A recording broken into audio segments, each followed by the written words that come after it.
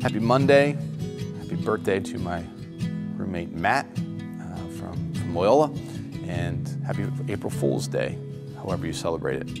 I kind of hate April Fool's Day because my kids like to do practical jokes and just make a mess. But anyway, hope you enjoy April Fool's Day and this Easter Monday.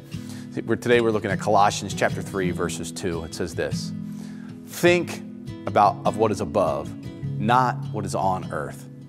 And so this is a reminder from Paul that our perspective on life needs to begin with heaven. Now this doesn't mean we're, you know, we're so heavenly minded, we're no earthly good.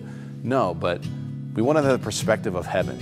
Right? We, we want to learn to think as God thinks and not as human beings think. We want, to, we want the thoughts of heaven to drive our lives and not the thoughts of this earth. You know, because this earth, right, if you look at the news, you look at the problems of the world, it, it, it will lead us to this myopic thinking that is not good. It is only from the perspective of heaven that we can live with hope and faith uh, for the future. So let's pray for that grace. Heavenly Father, help us to think about what is above, to think with your mind and your thoughts through the course of this series, and not to allow the thoughts of this earth, the, the temporary, the, the, the weak thoughts of this earth to guide our thinking.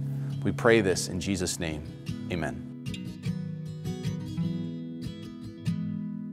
Thanks for joining me today. Don't forget to subscribe to our channel so you never miss a daily practice.